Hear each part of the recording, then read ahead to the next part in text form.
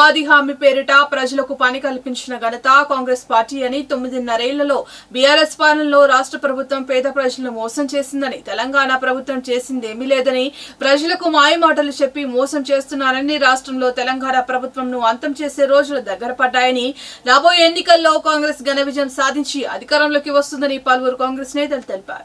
నిరంతర news updates కోసం ఛానల్ని సబ్స్క్రైబ్ చేసుకోండి. పక్కనే ఉన్న బెల్ సింబల్ని క్లిక్ చేయండి. Thanks for watching GS9 TV.